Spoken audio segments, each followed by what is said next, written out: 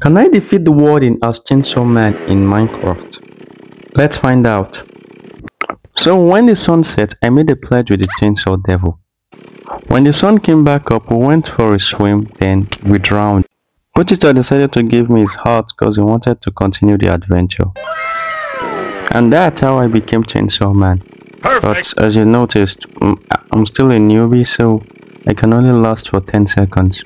Emotional. I went for some typing training and now I can last for 1000 seconds. And here's how I look as Chainsaw Man in a full netherite armor. Pretty cool, right? Then I rushed towards a nearby warden. You definitely didn't see me spawn. But as I got closer, the warden decided to just bury itself. Where are you going? Yeah, that that's just bad. And a new one spawned.